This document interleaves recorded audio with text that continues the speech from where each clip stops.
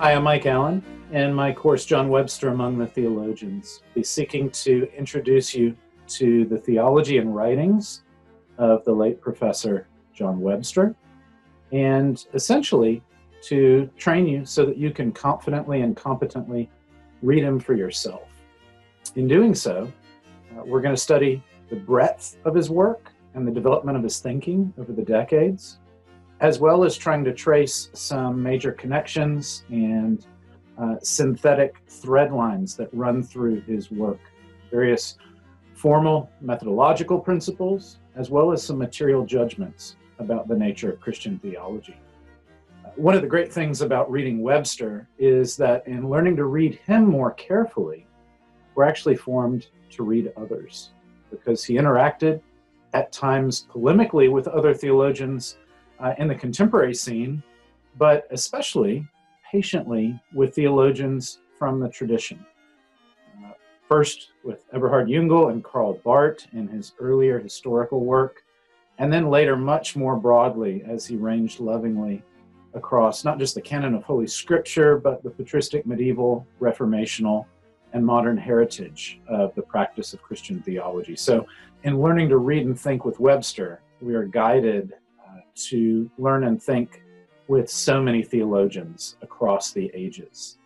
Uh, and we'll explore that as we consider the way in which he theologizes and the nature of his theological principles. Webster has been heralded, rightly, I think, as one of the most significant contemporary theologians. I'll try and explain why people have been so appreciative and how he's had influence. At the same time, I think much of Webster's project has gone underappreciated or, in fact, uh, been mistaken in certain respects. You hear this in a variety of ways. Uh, the way in which he turned away from Karl Barth or turned into a Thomist of some sort. We'll describe a number of ways in which his theology does develop, and both his rhetoric and some of his material judgments do shift over time.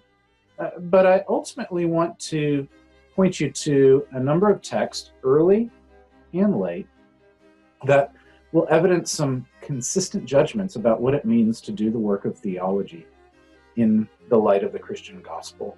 What it means that the gospel is, as he puts it, not just the content, but also the context for our doing of theology.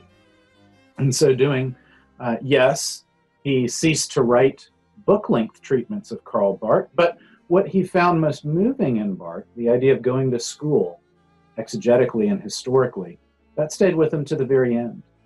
And what he found compelling in Thomas and Turretin, in Basil and Augustine and Cassian and Bernard and Owen and Mastricht and Bavinck, all of those things express in various registers judgments that, in most respects, were there from the beginning.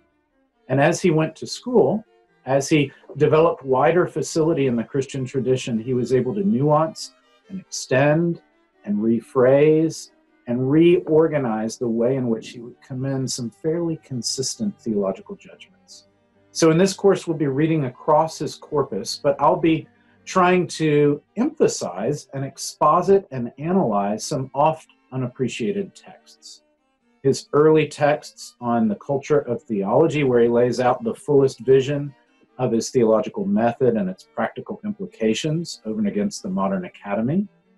And then his uh, as yet unpublished Kantzer lectures, the closest thing to a mini summa or a mini systematic theology, where we see his mature thought written in 2007, um, regarding how to study the perfect life of God and the works of God in light of that perfection.